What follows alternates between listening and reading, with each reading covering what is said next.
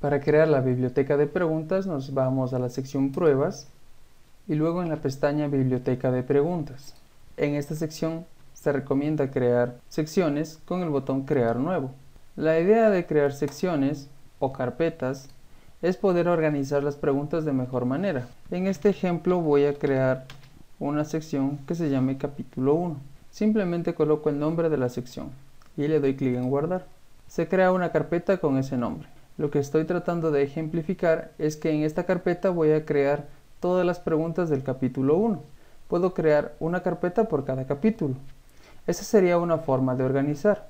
Otra forma de organizar podría ser por tipo de pregunta. En vez de crear secciones por capítulos, podría crear una nueva sección donde puedo organizar por preguntas de verdadero o falso.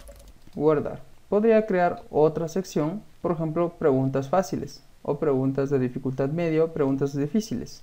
La idea es tratar de organizar las preguntas para poder reutilizar esta biblioteca en las pruebas. Recuerde que en las pruebas tenemos que llamar estas bibliotecas.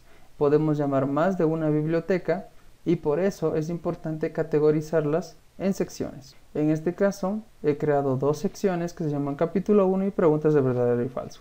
La organización de las carpetas y el número de secciones dependerá de cómo el profesor crea más conveniente.